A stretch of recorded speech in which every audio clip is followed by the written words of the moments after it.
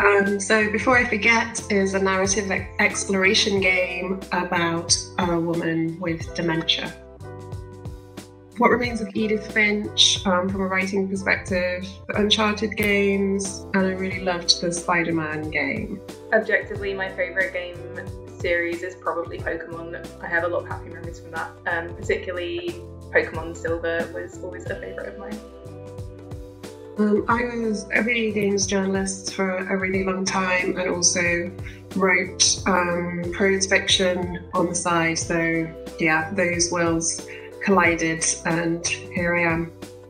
What inspired me to make games was playing them as I uh, grew up and then just getting really excited about how all these different components got put together and thinking about the art and the music and the technology. I guess I was just interested in all those aspects of it and wanted to see if I could do something like that myself. I think the best tip would be to just take your time with the game.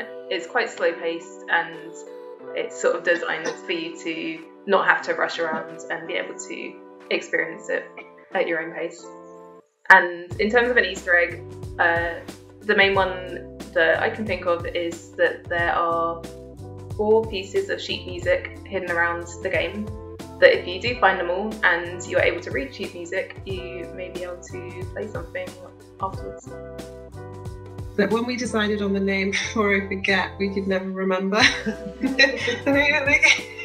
and I'd like, I'd have to. I'd, like when someone said, "Oh, what's the game called?" I would literally sit for a hot second, going, "Remember? No, before I forget."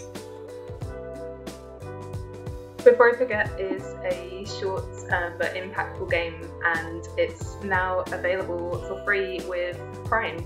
So we really hope you enjoy playing it. Go get it!